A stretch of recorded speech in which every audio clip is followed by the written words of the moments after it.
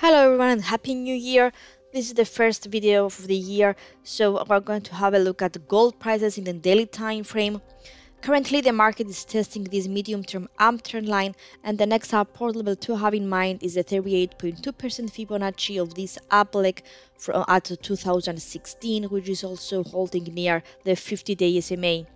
So if the market retreat, retreats further, then it may challenge the 50% Fibonacci of 1978 um, before testing the 1974.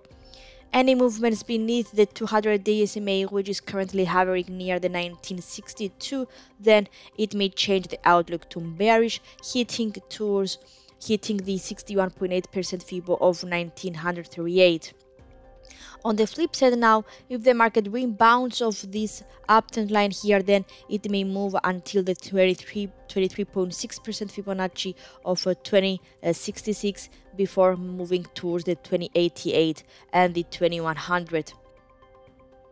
Now having a look at the technical oscillators, the MACD is holding beneath its trigger line, while the stochastic oscillator is creating again a bearish crossover within its percentage K and percentage D lines near the oversold zone, both indicating that the next movement could be to the downside rather to the upside.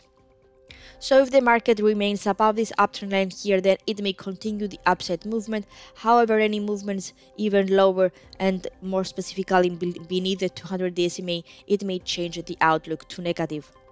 So that's all from me. Thank you for watching. And have a great day.